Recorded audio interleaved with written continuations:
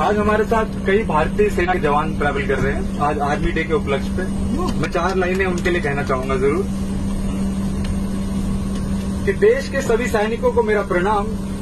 जो नहीं सुन पा रहे हैं, उन तक पहुँचा देना मेरा ये पैगाम। कि तुमसे ही तो है इस देश की पहचान। तुम्हारे बुलंद बिरादों के आगे हर चोटी है छोटी, हर जंग है आसान। आपदा आने पे सब साथ में लड़ते हो चाहे नौसेना थल सेना या लड़ाकू विमान।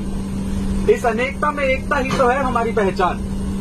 जब निकलते हो वर्दी में चौड़े सीने संग चेहरे पे मुस्कान तो दुश्मन खुद ही लगा लेता है अनुमान कि अब क्या होगा अंजाम। पूरा देश तुम्हारे साथ है, खींच के रखो लगाम, और तुम्हारी बहादुरी के चर्चे करता है पूरा हिंदुस्तान। चाहे कश्मीर से कन्याकुमारी या आसाम से राजस्थान।